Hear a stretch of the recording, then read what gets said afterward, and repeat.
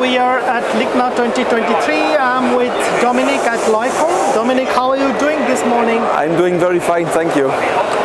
Well, uh, live at Ligna after four years, how does it feel?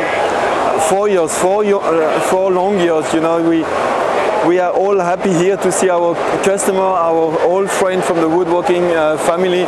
So everyone is happy to meet uh, again after, after the pandemic, the hard time we had. Well, you are showcasing a host of innovations here. What's the highlight?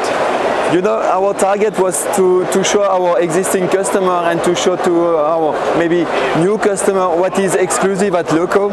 So we are showing different innovation like our P system, the new Fibonacci system, NN system, um, the DR curve uh, geometry, easy fix and so on. So many things that you won't find elsewhere. Of tool is wiser choice for panel sizing? Carbide or diamond and why?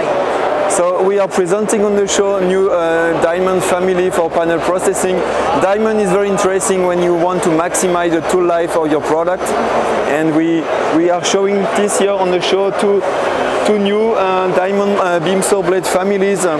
we had like for our tungsten carbide saw blade two generation of blade we have the Q-cut focus is on quality and uh, um, noise reduction and we have a U-cut family uh, where the focus is more on long tool life and uh, um, customer willing to optimize uh, the, the time on the machine. Well, how does LEUCO make diamond attractive uh, with DP U-cut? With DP U-cut here, the, we have um, a saw blade which is robust.